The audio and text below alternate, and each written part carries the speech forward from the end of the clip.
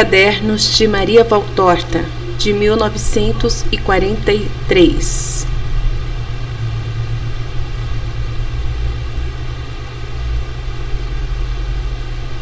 Começando dia 22 de abril de 1943. Parece-me que é quase inútil escrever mesmo depois de ter dito tudo. Mas você me incentiva a escrever as coisas que mais me impressionam e eu obedeço. É a tarde de Quinta-feira Santa. Por falar em Jesus, não me distraio dele, pelo contrário, concentro-me nele. Vou contar-lhe como passei estas últimas 24 horas. Ontem à tarde você me viu exausto. Eu estava realmente exausta, mas quando toco o fundo da resistência humana e a quem me vê dou a impressão de ser um ser pobre, incapaz até de pensar. É precisamente então que tenho, direi assim, iluminações. Ontem à tarde li o jornal, depois cansada também disso, fechei os olhos e fiquei assim inerte. De repente, vi mentalmente um terreno muito pedregoso e árido.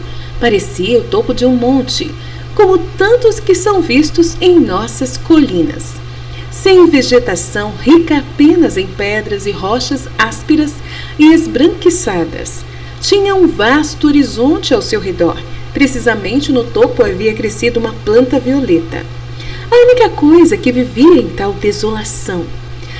Ela, eu podia ver claramente o aglomerado de folhas grossas e compactas, o suficiente para resistir aos ventos que batiam no topo. Algum botão de violeta, mais ou menos aberto, projetava sua cabeça para fora do arbusto verde.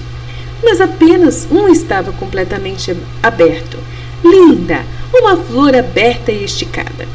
Foi ela sendo tão ereta, quase como se ela fosse atraída por uma força especial, que chamou minha atenção e me fez procurar com meus olhos. E eu vi um poste, um grande poste cravado no chão. Parecia um tronco mal escovado, áspero e áspero. A meio metro do chão, ou talvez menos, havia dois pés perfurados, Ontem à tarde não vi mais do que estes, dois pés torturados, e que foram torturados cruelmente, foi dito pela contração dos dedos, com os dedos quase retraídos para a planta do pé, como se fosse de um espasmo de tétano. O sangue, escorrendo até os calcanhares, desceu pelo eixo áspero e o jogou no chão. Outras gotas caíram dos dedos contraídos e choveram no arbusto de violetas. Para isso, todo violeta suave tendia para cima.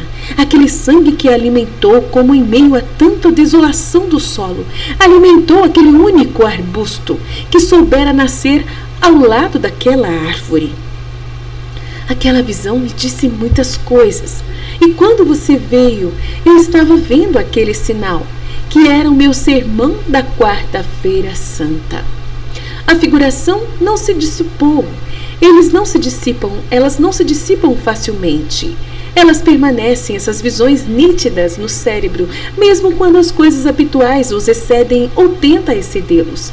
Também esta manhã, antes de chegar aqui, entrevistei o resto do corpo. Busquei ver o resto do corpo de Jesus. Digo, um vislumbro, porque apareceu e desapareceu entre os véus flutuantes de névoa. Outras vezes ficou muito mais claro, mas então parecia morto para mim. Agora ele parece vivo para mim. E eu acho que é uma grande pena de Jesus não me mostrar o rosto hoje. Jesus está com tanta dor. A sua tristeza atingiu uma intensidade tão forte por causa de toda a iniquidade humana que ele nunca se cansa de ver, de ser.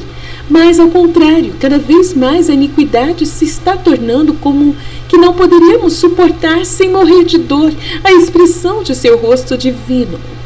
Jesus, meu mestre, com sua palavra silenciosa, diz-me que o meu lugar é mais do que nunca aos pés da sua cruz. Só de seu sangue devo tirar a vida, e minha tarefa é ser apenas incenso aos pés do trono do, do meu Redentor. Incenso que cobre, com seu perfume, o fedor do pecado, do mal, da crueldade que exala da terra. O incenso não perfuma, mas queima-se e consome-se. Eu devo fazer o mesmo. Ele também me diz que a flor pode atrair outros olhares para a sua cruz, pode fazer outras criaturas se curvarem sob a chuva do seu sangue. Esta é a tarefa da flor, para com os outros e para com Deus. Reparação de amor a Jesus e atração a Jesus de muitos corações, aceitando viver, portanto, no deserto nu só com a cruz. Poderia dizer que fiquei com os lábios pousados nesses pés furados, como se bebesse de uma fonte que é frescor e ardor ao mesmo tempo. Um sentimento espiritual, mas tão vivo que parece real. Esta manhã, finalmente às 10 horas, chegou uma carta de uma religiosa de Roma, carta que lhe mostrarei e no qual fala precisamente desta missão aos pés da cruz. E a carta acompanha uma imagem com um crucifixo e debaixo de um incensário em chamas e a inscrição: Que minha oração suba como incenso em sua presença. Tomei tudo isso como um discurso mudo meu, do meu Jesus ao seu pequeno, à sua pequena hospedeira, que aos poucos é consumida mais pelo amor do que pela doença. Acho que amanhã é Sexta-feira Santa, o dia dos dias para mim. Eu gostaria de acumular sacrifícios para torná-lo um verdadeiro dia de expiação. Mas você pode fazer tão pouco agora, Maria, pois bem faremos essas poucas coisas. Quanto ao resto, pode ser que amanhã Jesus pense em me dar minha parte na dor expiatória. Eu estou aqui apertada na cruz. É o posto das Marias, por outro lado. Desta forma, nem mesmo o sinal do meu Redentor me escapará. 23 de abril, boa sexta-feira de manhã. Jesus diz: A primeira vez que meu Pai, para purificar a terra, mandou um banho Maria, a segunda, um banho de sangue. E de que sangue? Nem o primeiro nem o segundo banho foram válidos para tornar os filhos os homens filhos de Deus. Agora o Pai está cansado, e para fazer perecer a raça humana, ele deixa os castigos do inferno se desencadearem. Porque os homens preferiram o inferno ao céu e seu dominador Lúcifer os tortura para empurrá-los a blasfemar e torná-los completamente seus filhos. Eu viria morrer uma segunda vez para salvá-los de uma morte ainda mais atroz. Mas meu pai não permite. Meu amor permitiria, justiça não. Sabe que seria inútil. É por isso que virei apenas na última hora. Mas ai daqueles que naquela hora me verão escolhendo Lúcifer como seu senhor. Mas ai daqueles que na hora eles me virem, eles escolhendo Lúcifer, né, como seu senhor. Nenhuma arma será necessária nas mãos dos meus anjos para vencer a batalha contra os anticristos. Minha aparência será suficiente. Oh, se os homens ainda soubessem se voltar para mim, que sou a salvação. Eu só quero isso e choro, porque vejo que nada é capaz de fazer você erguer a cabeça para o céu de onde eu estendo meus braços para você.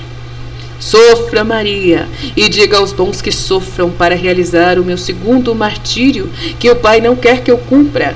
Cada criatura que se mola tem o direito de salvar alguma alma alguns, e não é de estranhar que poucos são os concedidos a cada pequeno redentor, se pensarmos que eu, o divino redentor no Calvário, na hora da imolação de todas as milhares de pessoas presentes na minha morte, consegui para salvar o ladrão Longinus, Longinus e alguns mais alguns.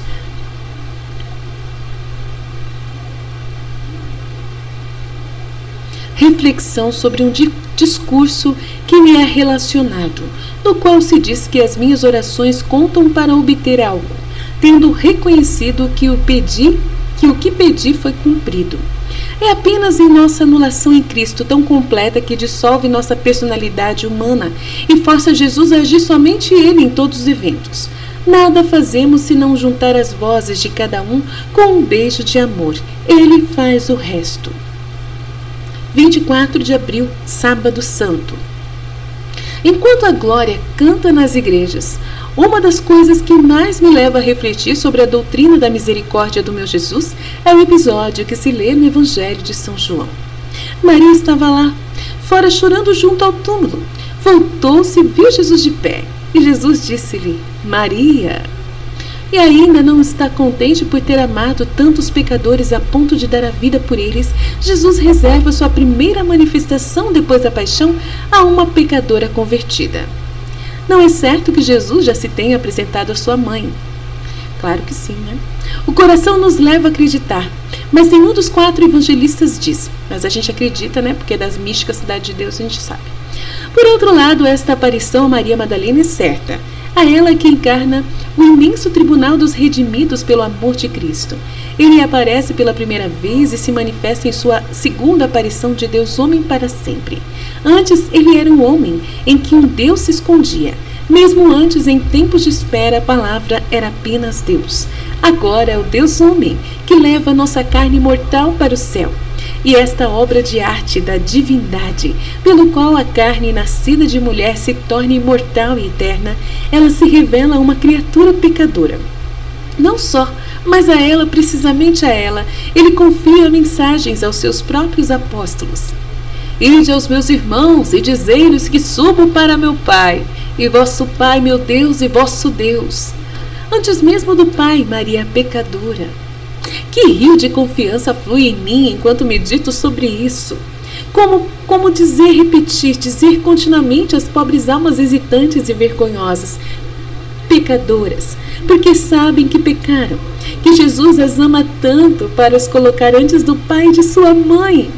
Porque eu acho que se ele ainda não havia ascendido ao Pai, naquela primeira hora da ressurreição, ele ascendeu sim, criança. Ele acendeu ao pai e apareceu para a mamãezinha dele sim. Mas tudo bem, não tem problema não. Gente, ela é mística e ela não sabe essas coisas. Olha pra você ver, tá vendo? E a gente sabe. Olha como que a gente sabe coisas. Gente, Deus está provando pra gente que a gente sabe mais que. Meu Deus do céu, que coisa. Aí ela fala que ela acha que ele ainda não havia se mostrado a mãe. Então ela está achando muito incrível, né, que na, na, na, na no Evangelho mostra que ele apareceu para Maria Madalena antes de todos. Mas na verdade não, a gente, né, tem mais outros escritos que a gente lê que a gente sabe o que aconteceu. No fundo, é uma necessidade de amar a justiça. Jesus veio pelos pecadores, portanto, que o primeiro fruto de sua ressurreição vá para aquele que é o arquetipo dos pecadores redimidos. É, para mim tudo bem, deixa ela pensar assim, não vai matar ninguém, né?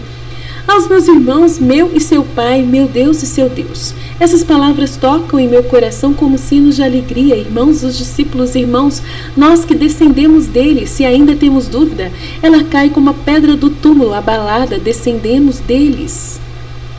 Ah, não, desculpa. Se ainda temos dúvida, ela cai como a, a pedra do túmulo abalada por este redemoinho de amor. E a confiança surge nos corações mais aprisionados e oprimidos pela memória de seus pecados e pelo reflexo da imensa distância que nos separa, nós, pó de Deus. Jesus diz: somos irmãos, temos um só Pai e um só Deus com Cristo.